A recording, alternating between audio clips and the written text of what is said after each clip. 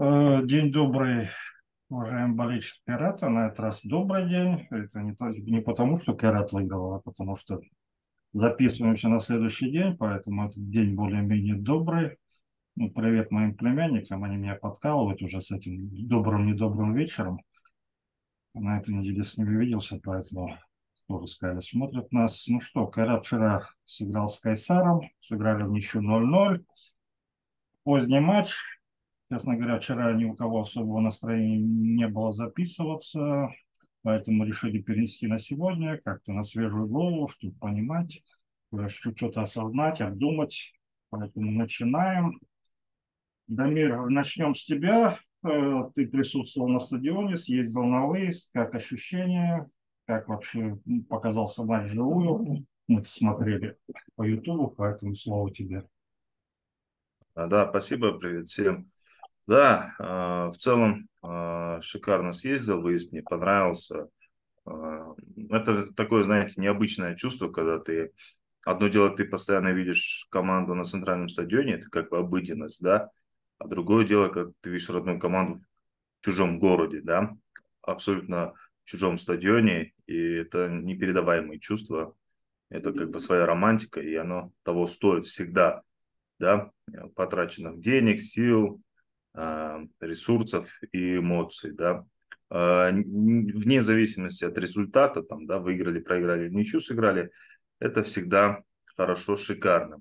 И пользуясь случаем э, эфиром, да, хотелось бы тоже обратиться к болельщикам, тем, кто нас смотрит, да, а, взрослые люди, там, молодые ребята, как бы такое, знаете, пожелание или совет, ребят, если есть возможность, катайтесь на выезда, поддерживаете команду, да, э, это не обязательно, чтобы это были все прям города, да, которые есть в календаре, да, и не обязательно, чтобы это было там самый дальний. Если никогда не ездили, можно попробовать с Талдыкургана, с Тараза там, да, начать.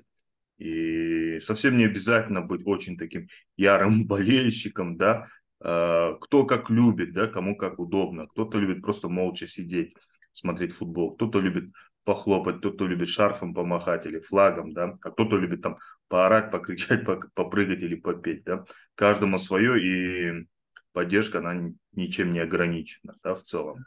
Вот. Э, скажу так, да, ну, сам город хорош, люди добрые в целом, да, но вот стадион, да, я лично сам убедился в этом, не зря его называют труба-арена, да, потому что когда ты смотришь ты вот так вот то туда, то сюда, потому что упираешься в эти трубы толстые, да, и порой не все видишь, и это мешает, э, так сказать, общей картине. Но в целом смотрелось нормально.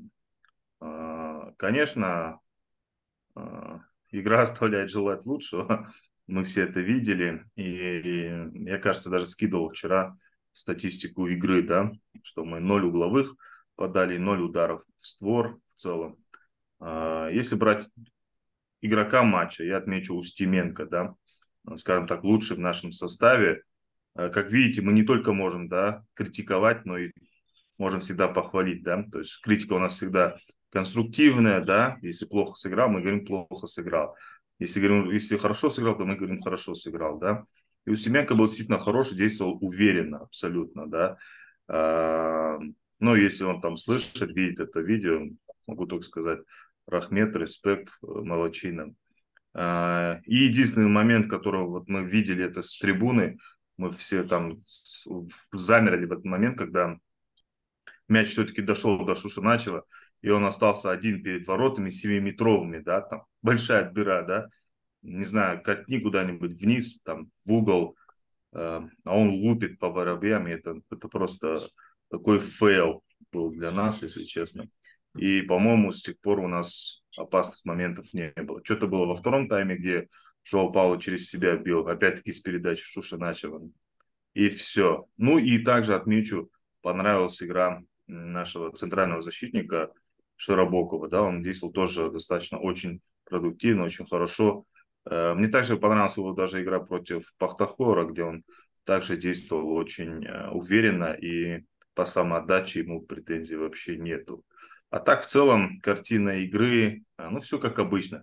Ничего нового. И мы уже предыдущие, да, эти эфиры критиковали, говорили о проблемах, там, да, о том, что игры нету и что кажется, что там, у тренера нет больше идей. Я больше, как говорится, то говорить не хочу, там повторяться, да, говорить одно и то же, да, что игры нету, что очень плохо и скучно. Но скажу так, где-то во втором тайме мне стало так тяжело, я, честно говоря, спать хотел, я просто вырубался, потому что, как бы, пока я ездил на этот выезд, там, поспал 3-4 часа всего, было нелегко. Но в целом игра усыпляла, сказать честно.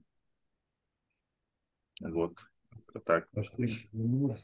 Да, игра Кайрата лучшая снотворная. То, это, это, это мы уже про это рассказывали. Помнишь, ты сегодня это, прямо как из 90-х, да, золотая цепь. У меня всегда серебряная цепь, что не знали, что Ладно, покажи печатки свои. В смысле, наколки? Портачки. Так вы в эфире, что ли? Вы давно уже разговариваете? Ну, конечно. Скажи, что, что хотел. Ты вчера матч посмотрел тоже. Что скажешь? Есть что новое сказать про игру? Ну, хотел поздороваться с всеми болельщиками, если кто-то нас все-таки смотрит. Ну, что про игру можно сказать? Э, как бы комментариев нет, нет слов. А, Кайрат, ой, Кайсар играет специфическую игру, Махтарал нестандартная команда. Все, все, что я могу сказать, это, это слова самого нашего главного специалиста. Я, раз так он считает, значит так и есть. Он же лучше всего знает команду, и игру, и уровень, и все на свете. Он вообще самый лучший в мире тренер, который научил Павла забивать, поэтому Тут мы, как говорится, не сомневаемся в этом. Кстати, именно после этого интервью, по-моему, Саратов все стало э, валиться. Поэтому карма есть карма, и она действует. Ну ладно, Коныш пока еще осваивается. Нарус тогда твое мнение об игре, но потом еще отдельно про, про кикера он поговорим. Всем добрый день. После вчерашнего матча хотелось бы процитировать классика, сказать мне нечего сказать но на самом деле а, есть определенные а, мысли. Вообще, иногда мне кажется, что поражение даже лучше, чем ничья. Во всяком случае, это какие-то эмоции. Когда ты смотришь ничью, тем более нулевую, тебе кажется, что просто зря потратил время, ничего ты не приобрел. А после просмотра столь удручающего и, я бы сказал, бездарного поединка в исполнении двух команд. Но Кайсару я это прощу, это не наша команда, играют как умеют, как говорится. А вот э, в исполнении Кайрата уже три месяца нет никакой игры, не видно никакого просвета. Э, Пройдясь по персоналиям, согласен, что действительно Устименко в концовке спас команду, спас от поражения. Я бы, наверное, сказал, что до 70-й минуты у него как таковой работы не было, потому что Кайсар мало тоже, что из себя представлял в атаке. Но постепенно, уже ближе к концовке встречи, действительно хозяева были, а, скажем так, больше нацелены на победу. И э, сейвы у Семенко два раза, по-моему, очень неплохо выручил Касабулат, хотя и тоже на протяжении матча нередко ошибался. И тут очень сильно запомнился 11 номер Кайсара, такой бревновастенький игрок, благодаря которому, собственно говоря, тоже вот, удержали мы эту ничью. Нельзя а, может оказаться у нас. Пускай не обижается, если смотрит. Касаемо нашей игры в атаке, ну, Пауло что-то пытался сотворить. По-моему, у него было 4 удара издалека, но все мимо. Момент с Шушеначевым, наверное, главный highlight вчерашнего матча. Э, такие моменты необходимо забивать, и в очередной раз разочаровываюсь формой а, Артура. Э, но вот что больше всего расстраивает, так это то, что в двух матчах команда буквально соглашается на ничейный э, результат, пытается его всеми силами удержать, отсутствовали замены, хотя я понимаю, что особо выпускать некого было, но тем не менее, повторюсь, три года назад было придумано э, и введено правило пяти замен, но в то же время Кекер максимально там до 85 минут использует только одну замену. Не знаю, почему он это делает. Я считаю, что во вчерашнем матче можно было выпустить и Келлера, и Ульшина. Во всяком случае, эти ребята, это те ребята, которые ну, несколько раз за сезон могут что-то выдать. Могут там навесить хорошо, могут и ударить издалека. Но нам нужно было, нам нужна была победа. Мы потеряли с Махтаралом и Кайсаром суммарно 10 очков. И 10 очков мы приобрели в матчах с лидерами. То есть мы вышли в ноль. Больше все, больше ничего сказать. Ну, тут даже я бы не сказал, чтобы мы, мы вышли в ноль, потому что у нас еще есть Шахтер, ЖТСУ, поэтому мы явно в минусе. Я еще раз говорю, я бы согласился на 4 поражения от лидеров, если бы мы выиграли остальные матчи. Это, это, это, это было бы нормально, мы были бы железно выше Октября, железно в тройке, потеряв 12 очков. Но, к сожалению, мы теряем очки с командами, которые находятся ниже нас в таблице. Ну, раз уже речь зашла о нашем главном тренере, я так сказать, это процитирую его интервью, на этот раз это все-таки больше, чем одна строчка так, это что, ну, единственное, что я э, процитирую не все интервью, но все равно небольшое, но вот одно. Вопрос, кого вы могли выделить в составе Кайсара, кто больше всего создал проблем? Не было никаких проблем. Ну, то есть мы ни разу не попадаем в створ ворот, не, не подаем ни одного углового, но проблем у нас нет. Кайсар играет специфический футбол. Игроки дают длинные передачи и борются, зарабатывая ауты, подчеркиваю, стандарты, тянут время. То есть они тянут время, зарабатывая ауты и стандарты. Ну, честно говоря, до этого времени я считал, что люди тянут время там, э, долго выбивая мяч, долго бросая аут, долго исполняя штрафные. Но то, что тянут зарабатывая, честно говоря, для меня это что-то новенькое. Скоро, Кирилл Сергеевич, ваше интервью будет расходиться на серьезные мемы. Думаю, Инарус это отметит обязательно. Ну, что скажете? Ну, я не знаю. Такое впечатление, что человек потерялся, совсем потерялся. Ну, Можно я все. скажу, да. да. Касательно Келлера и в целом. Э, просто добавлю, да, касательно самой игре. Кекера, да. Кекера, конечно. Ну, я еще не отошел.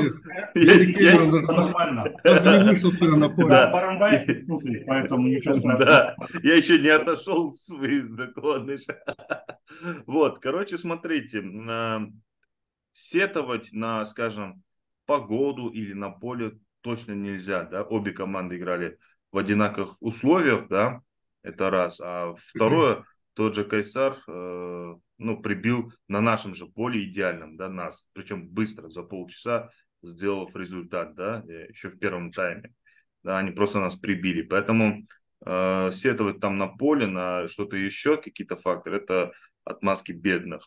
Касательно Кикера, мне немножко непонятно, да, почему он не смотрит сначала на свою команду, на игру своей командой, а, а, а, а ищет там соринку э, в чем-то глазу, да. Найди сначала свое бревно, да, а потом уже говори про чьи-то команды. Кайсар имеет право в любой футбол играть. Специфичен, не специфичен, атакующий, не атакующий. Там, не знаю, автобус будет парковать. Это их дело, э, да, не надо туда лезть, там, да. То, что он вот это процитировал, сказал, это, да, это Лучше расскажи про свою команду, да, как мы играем. Он вечно говорит, что о чем-то вот, ой, там Окжитпец там не играет на своем стадионе, и это звучит удручающе, да, там, или разочаровывающе. А в этот раз он больше говорил о Кайсаре, да, нежели о своей игре. А, больше, как говорится, нету какой-то конкретики, да, а, не извините, не сори, там, да, игрой я недоволен, там, да, результатом тоже – у нас ничего не получалось, у нас ну, там был такой план, но у нас он не сработал, да, как-то, я не говорю, что прям очень все в деталях, да, до, разбить на атомы, да, но все-таки сконцентрироваться на игре своей команды было бы лучше, нежели лезть э, в чужую команду. И это меня, мне это непонятно, если честно. И, э, ну, не знаю, немножко звучит в его как сказать, какая-то надменность или высокомерие, что ли. Или он просто так защищается от ненужных, неудобных вопросов, защищается от журналистов так, да, пытается куда-то там стрелы в другую сторону кинуть, но только не от себя.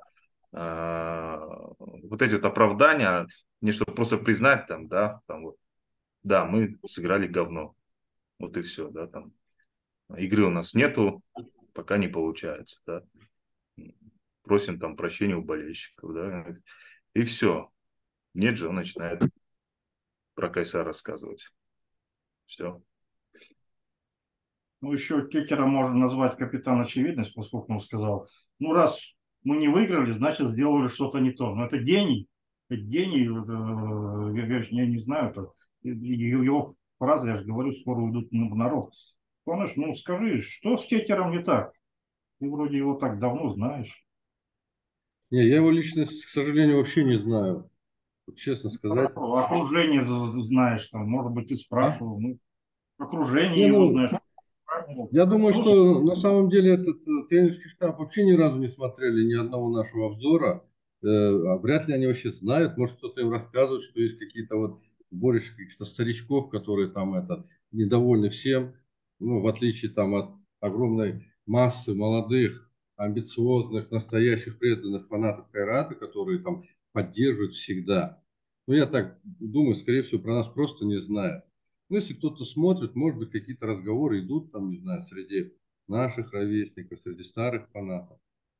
Вот. Ну, мне только приходится догадываться. Я думаю, что, скорее всего, э, Кекер и руководство, тренерский штаб, они считают, что они, в принципе, э, из имеющегося материала и средств э, делают какой-то результат более-менее приемлемый. То есть как такого же критики не идет же. На самом деле, э, то есть э, мы, не, мы все равно будем как бы в первой шестерке, да, хотя у нас там 14 команд же, там, семерка получается, да.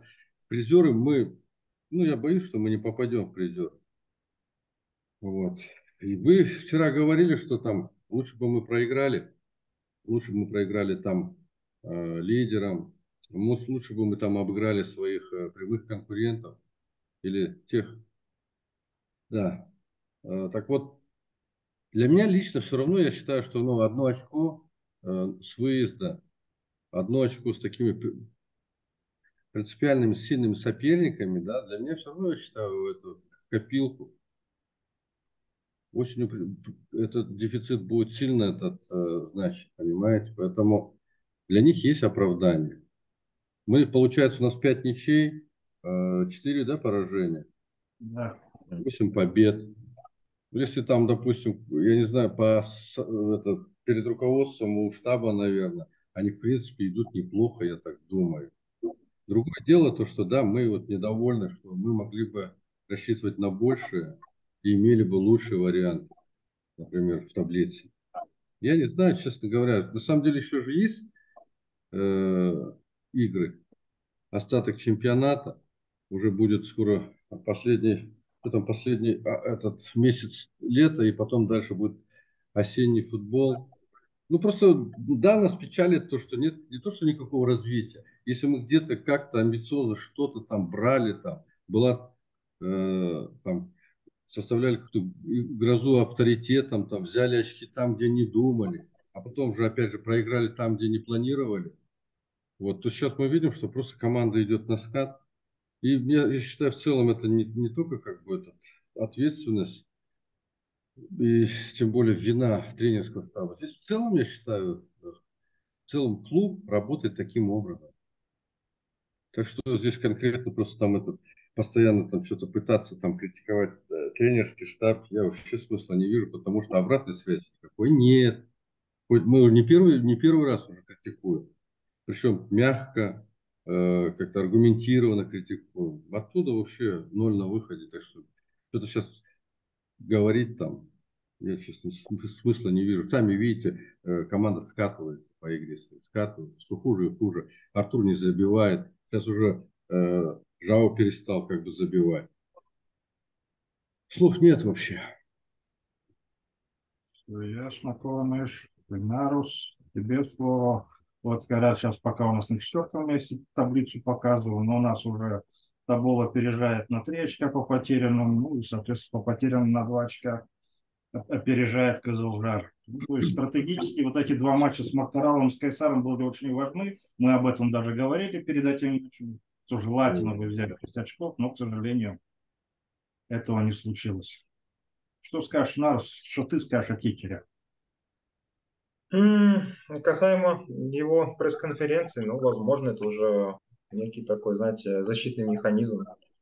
Сказать особо нечего.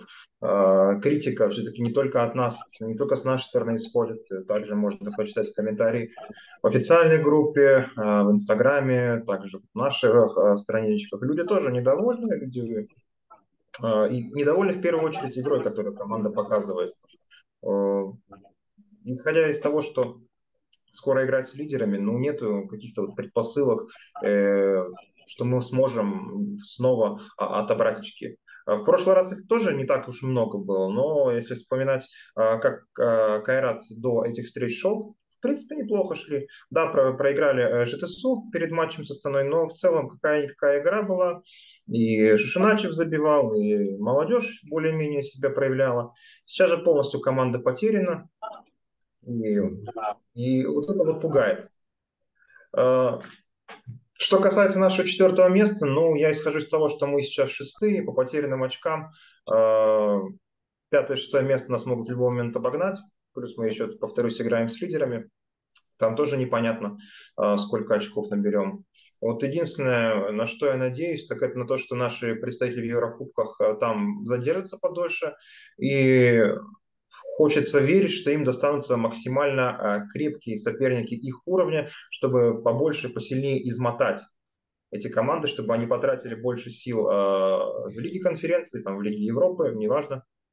И только так а, у Кайрата появятся какие-то шансы на очки. В общем, все. Конечно, если в Еврокубках они чуть-чуть э, будут терять свои силы, для нас будет хорошо. Но с Актобе это не пройдет, сразу говорю, вряд ли торпеда Кутаиси сможет что-то навязать Актобе в следующий четверг. Ну, единственное, что, что, что и, конечно, Актобе оба матча играет дома, поэтому ну, есть некоторые сомнения, что нам это сильно поможет, к сожалению. Ну, что делать? Вот я вам э, комментарии читаю, что ну а что вы хотите от Кетера? Ну как я что хочу? Я хочу, чтобы он что-то честно говорил и как-то и хочу от клуба, чтобы они говорили честно. Если бы они сказали, я повторюсь уже 10 раз повторяюсь, сказали бы, наша цель там первая семерка, первая восьмерка, вы сами понимаете, состав у нас, усиления нет, денег нет, ну все хорошо. Я думаю, что сейчас бы все болельщики были бы рады сказать, ну, мы на четвертом месте. Да даже если там по потерянным что да ничего страшного, зато мы играем своими молодыми и все так далее. Мы бы были рады. У нас заявляется трое, мы должны быть в тройке, мы должны бороться за Еврокубки. Зачем вы про это заявляете? Зачем? Зачем вы повышаете цены на билеты? В такой ситуации. Вы сейчас повышаете цены на билеты, э, когда говорите, что у нас э, некому играть. Вы, вы вот этими ценами на билеты, вы, скажем так, болельщиков не заманите. Абсолютно. Тут надо снижать цены на билет. Вот эти цены были, когда, извините, играли Аршавин, в Совете цена была меньше. Да, там, конечно, инфляция была не там, но, но тем не менее. Даже вопрос, показывайте игру. Я не требую, чтобы команда была в тройке, в четверке, в пятерке. Ну, показывайте какую-то игру, делайте какой-то прогресс. Давайте вспомним прошлый сезон. Что нам говорит? Вот сейчас молодые вот оботрутся в этом сезоне и в следующем сезоне покажут. Что показывают в этом сезоне? Начало более-менее хорошее. Мне так э, уже и Армар про это говорил, что вот, ну, видимо, пик формы был на эти матчи с лидером. И все, и команда дальше идет физически чисто по спаду. Я вот э, не, не, не сказать, что там я там, говорю, что еще раз повторю, я писал. Кетер это неплохой тренер хороший тренер. Я ему очень благодарен за 21 год. Я считаю, что Лига конференции, группа, это полностью заслуга только Кекера. Там, последний матч, который Гавриленко его провел, это там, так сказать, вообще не проблема была. Поэтому это, это, это, достижение чисто Кетера, поэтому ему только уважение. Но я считаю, что сейчас он в каком-то ступоре, он немного не понимает, куда идти, что делать. Причем я считаю, что если будут менять тренера, там, если решать, что это не должен быть из академии. Это должен быть исключительно со стороны, который что-то поменяет.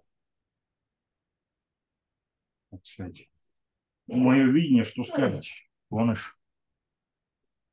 Не, ну если персонально говорить про тренера, конечно, то мы можем, конечно, сравнивать его, например, его работу там сравнивать там с работой Али Алиева, да, там, или там с Карповичем можно сравнивать, ну, типа, с Бабаяном можно сравнивать.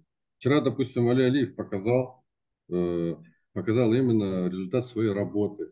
Как, как хорошо вчера играл Казуджар, допустим. Он играл по статистике, он э, превосходил по атаке, там, по натиску э, против Астаны. Астана, имея такой состав, там, такие замены они делали, они никак не могли выровнять игру. И в конце концов он добился результата.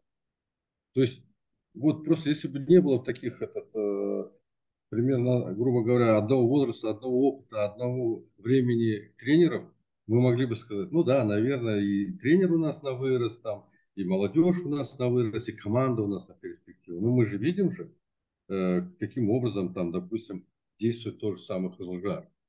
Поэтому нам просто этот, мы видим то, что вот перспективы-то никакой особо нету, э, это затягивается, затягивается вот, то есть из сезона в сезон, и идет медленный спад. А сейчас вот во второй половине вот этого сезона спад на лицо.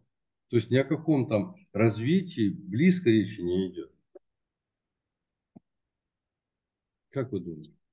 Согласен, конечно, никакого развития нет. И причем я хочу вот этим болельщикам, которых я называю в розовых очках, напомнить, что которые говорят, вот сейчас нет Баранбаева, поэтому все плохо. Так Баранбаев и начал, и Арман это постоянно подтверждает и показывает, что Баранбаев первый сделал, что э, полтора миллиона у казахстанских игроков заработная плата. Что никто на такую заработную плату не пойдет. Это Баранбаев делал, когда еще ничего плохого-то не было. Когда он просто, видимо, разочаровался или понял, что там что-то он не так делает, поэтому э, решил, так сказать, что я лучше вот так буду делать. Ну, у нас какая цель? Если заявляйте тогда цель. Мы будем готовить игроков для других казахстанских клубов, чтобы потом наши же болельщики, те, которые в розовых очках, говорили, что а зато в Еврокубках играют воспитанники Кайрата. Ну, все, а теперь я должен от этого радоваться, что ли? Подождите, вот эти все очки, все вот эти победы, которые в этом году были, они в основном были прежде всего из-за результативных действий Жао Паула. Согласен? Абсолютно. В основном. Где здесь наши? Хорошо. Он выпускает Труфанова, например, да, на последних минутах. Мне действия Яна Труфанова очень понравились. Очень вчера. То есть он максимально старался но его когда выпустили? Почему раньше не выпустили? И вот все вот эти туры предыдущие, когда мы там э, громили там, грубо говоря, там, там этот, с кем мы там побед, хорошо сыграли? Безлжар. Безлжар крупно выиграл, выиграли. Вот. Э, и нет, я хочу к тому сказать, что в основном там это, это чисто индивидуальные способности бразильца нашего. Правильно, да? Вот. Никто же там этот, после первых там голов Жао, нет, это, даже Швыреву не дают шанс, например, этот как-то себе постоянно как, как бы меняет его позицию. И, и, и у Артура пошел спад, это, это надо было разобраться непосредственно работникам клуба, например. Может быть, там психолог должен поработать или что. Человек перестал забивать. Человек перестал забивать. Его сборную там приглашают. К сожалению, он там не выходит, но он перестал забивать. И что у нас сейчас идет системная как бы этот, э, работа с собственными кадрами, что ли? Сомневаюсь я. То есть противоречат, результаты противоречат тем словам, которые они говорят. Поэтому, скорее всего, Кирилл Сергеевич очень мало говорит. Возможно, тем более, что он говорит, что мы хотели победить, но по его заменам мы не поняли, что мы хотели победить. Понятно. Одна замена до 90 минуты, а потом еще две компенсированное время. Это не тогда, когда ты хочешь победить. Так, Дамир, или нет? Ну да, э, согласен. Просто вот смотрите, да, вот мы вчера играли, э, мы знаем, что мы остались без трех игроков, да. Васин травмирован, э, Сейд Ахмед, Садыбеков отбывали дисквалификацию. Их, скажем так, не хватало, да по крайней мере, Усид Ахмед давал какую-то мобильность, скорость действия, да. А, кто там еще?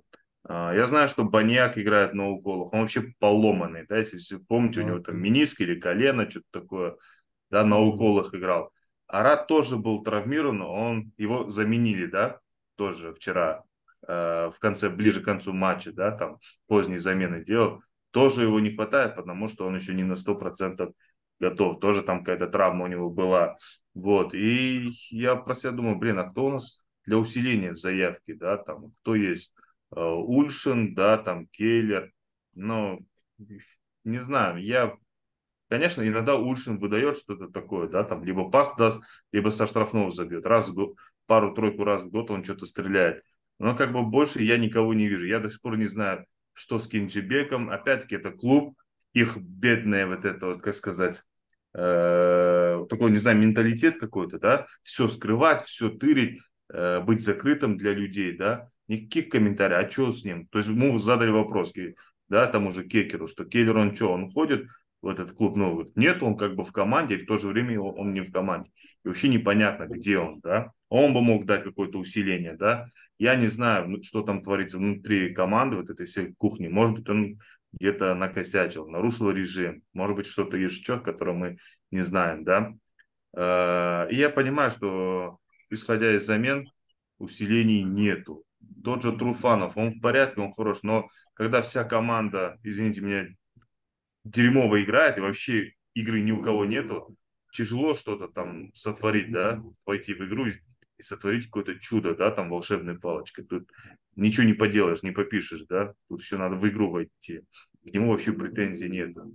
А, может быть, исходя из этого, Кекер там не делал какие-то замены, да, там, ну или делал их только в конце. Но я когда увидел эти замены, это было на удержание. Потом, опять-таки, еще замечу, я видел это со стадионом, я тоже, честно говоря, бесился.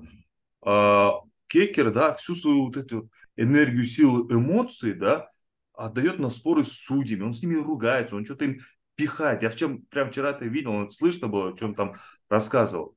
И я уже сидел так, злился, говорю, блин, Реф, удали его нахер, мне он уже задолбал, удали его к чертям, дайте ему дисквалификацию, дисквалификацию на два матча, чтобы его там больше не было в этой э, тренерской мостике, да. Э, он хорошо умеет ругаться с судьями, да, да, искать их ошибки, но лучше бы он бы так умел бы, там, не знаю, команду настроить, мотивировать, что-то придумать, да, с ними, на, на, э, улучшить игру. Но нет же, он свою энергию вот эту куда-то в негатив отдает этим. И меня это вчера, честно говоря, бесило. И Реф дал сначала ему желтую карточку, потом еще его помощнику дал желтую, кто тоже что-то сказал. Зачем это нужно? Смотри на себя в первую очередь, ставь игру, да, там, вот и все. А, вот, и поэтому э, касательно, да, игра была дерьмо, но команде у меня претензий нету, потому что, опять-таки, были травмированные, кто дисквалифицированные, Э, были неполный, э, так сказать, комплект игроков. Как бы и так было плохо, а тут без игроков основы еще хуже. И, слава богу, не проиграли, да. Ну, вот как-то так. И меня вот это вот поведение его на бровке вчера реально сбесило. Вы, наверное, видели, наверное, где-то в чатах, видели. может быть, я писал. Лучше бы он так команду настраивал бы, чем ругаться с судьями. Не, действительно, как, у меня тоже претензий нет, потому что они играют, как им говорит тренерский штаб. И, к сожалению, я не знаю, что говорит тренерский штаб, но, как Китер сам признал, видимо, говорит что-то не то. Так и народ, что есть что сказать по этому поводу. Ну, я за этой неделе начал задумываться над другим вообще, а точно ли мы вот прям воспитанниками играем полностью? Э, сейчас в основном кажется, что руководство клуба, некоторые там другие болельщики больше оправдываются. Ну, смотрите, мы играем воспитанниками. Э, если так посмотреть на тех, кто играл, ну, грубо говоря, в составе команды в среднем по 5-6 казахстанцев, не, не, не все они воспитанники нашей команды. И я считаю, что если мы хотим развивать воспитанников, они должны как-то вот э, на, на общем уровне, э, на уровне э, не сильно низшим, чем легионеры выступать. Но прямо сейчас мы нашими воспитанниками просто затыкаем дыры в составе. И не сказать, что многие из них прямо таки прогрессируют. Если в прошлом году мы могли рассчитывать, повторюсь, на Крачковского, если бы ему там, не дай бог, дай, дай бог, дали паспорт казахстанский, на Садыбекова, то сейчас уже таких разговоров я близко не слышу. И лучшим игроком казахстанским на данный момент в нашем составе является Славка Шурев. Вот действительно старается, действительно э, э, видно рвение и, по-моему, среди вот атакующего звена Кайрата единственный игрок, ну, наравне, наверное, с Жоао Паулу, который может хоть как-то э, протащить мяч, э, передать, э, дать какую-то передачу. И единственная проблема в том, что он просто плохо реализовывает свои моменты. Вот удар, удары поворотом действительно плохо.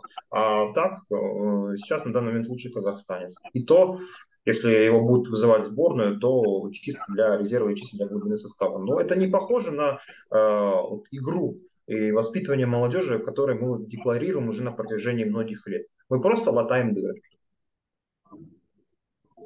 Полностью согласен, что смотря кого считать воспитанниками, наши болельщики в розовых очках частенько начал называют воспитанником. Ну, не наш он воспитанник юридический, не наш. Не успел он три года 20, до, до 21 года у нас в Академии побыть. Поэтому ну, надо смотреть. Кто у нас воспитанник? Устеменко, Кособова, Кудельник, да. Кубеев Славка. вот этот молодой. Да, Кобеев, ну что-то вот ну, он мне в прошлом году по Жастару смотрел, и когда на кубок выходил, он человек спас, но что-то его не упускают. А так воспитанников на самом деле не так много, и все равно при наличии всех этих воспитанников, пускай это будет 5 или 6 человек, все равно все решают, к сожалению, в основном легионеры. Ну, на каком месте идет Кайрат Шах? Вот стопроцентный воспитанник. На каком месте они? 12 они место. Ну, 12 вот, место из 15. Вот вам показатель. А мы знаем, что такое э, это первая лига. Это там две команды только, остальные все так. Просто играют.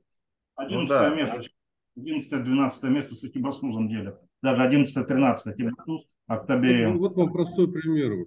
Ближайший наш резерв. У нас железнодорожник никогда же не играл на последнем месте. Нет, железнодорожник, если посмотреть, я вчера, вот, кстати, ты напомнил, я вчера как раз смотрел Ах, эту да. таблицу. Третий, четвертый, пятый. Ниже пятого места мы не опускались. Мы где-то были выше Цесны. Потому да? что это был, это был ближайший резерв Кайрата, правильно? Да, вот да, Сахалков до сих пор играет. Вот это... Да, наш воспитанник, между прочим. Вчера играл. Да. И еще такой момент по, по воспитанию. Окей, клуб решил играть воспитанников. Но почему ты не вернешь тех воспитанников, которые у нас были, да? Вместо этого, смотрите, Ораза в Тоболе. Я скажу так, был шанс этой зимой его вернуть. Реально Наверное, был. Время да. подходит, так что да. смотрите Да, да, да.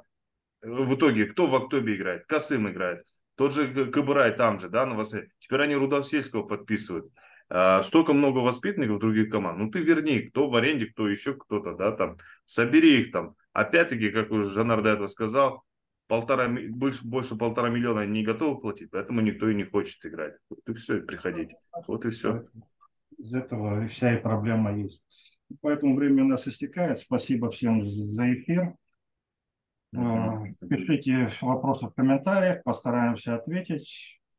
Тема сейчас серьезная, Карат в кризисе, но тем не менее. Поддерживайте команду. Следующий матч с Актобе. Встретимся через неделю. Всем спасибо. Болейте за Кайрат. Болейте за Кайрат. Да, Счастливо. Всем удачи. Болейте за Кайрат. Аллах Кайрат.